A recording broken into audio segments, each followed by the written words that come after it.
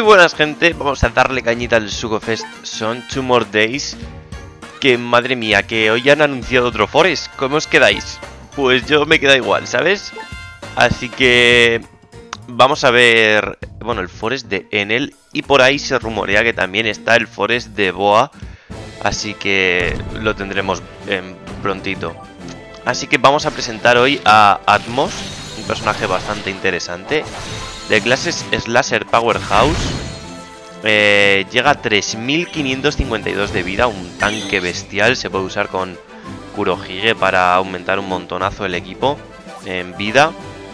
1238 de ataque, no está mal. Y 132 de RCV. La habilidad de capitán es la misma que Luffy Loyal, bustea el ataque de los SDR por 2,5. Bueno, no está mal.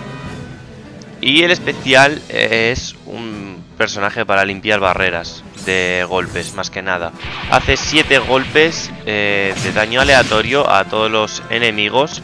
O sea, básicamente lo usaremos para limpiar eh, barreras.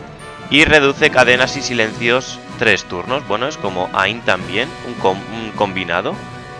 Y el daño que hace está entre 5.000 y 20.000. No es mucho, pero bueno se queda su especial al máximo el día que salgan los libros a 16 turnos. Es un personaje que está, está bastante interesante, está muy equilibrado, buenas habilidades. Que le toque, oye, no es nada malo, pero ya he dicho que no recomiendo nada tirar en este Sugo Fest, porque tenemos eh, a la vuelta de la esquina el aniversario, que va a ser, esperemos, 8.000 millones de veces mejor que los Sugo Fest normales.